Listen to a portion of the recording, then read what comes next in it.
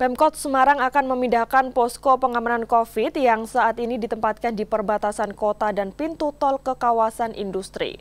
Hal ini menyusul temuan adanya penyebaran klaster baru COVID-19 yaitu klaster industri di kota Semarang dengan jumlah pasien mencapai 300 orang positif COVID-19.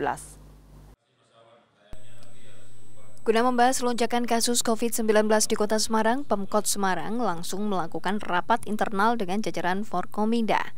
Adanya temuan klaster baru penyebaran COVID-19 dari klaster industri membuat angka COVID Kota Semarang naik tajam.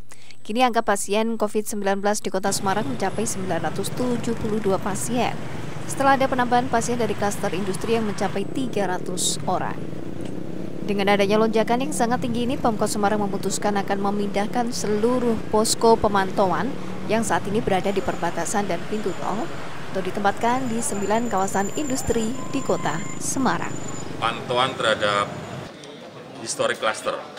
Cluster Semarang ini kan dari pasar yang besar, kemudian ada tenaga medis, rumah sakit, puskesmas, kemudian juga eh, yang terakhir ini yang cukup besar di pabrik atau kawasan industri. Saya minta teman-teman nanti juga fokus patrolinya diarahkan ke pabrik untuk memakai SOP kesehatan.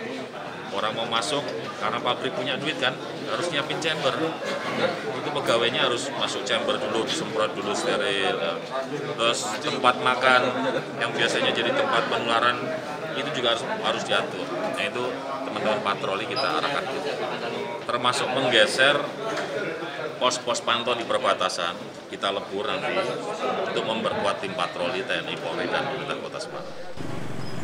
Posko-posko ini nantinya akan melakukan pemeriksaan terhadap seluruh warga yang beraktivitas di lingkungan kawasan industri tersebut. Selain melakukan pendataan, juga akan dilakukan swab test secara acak di pabrik-pabrik. Wali kota kembali mengingatkan terutama bagi pekerja pabrik untuk mentaati protokol kesehatan agar terhindar dari penyebaran COVID-19.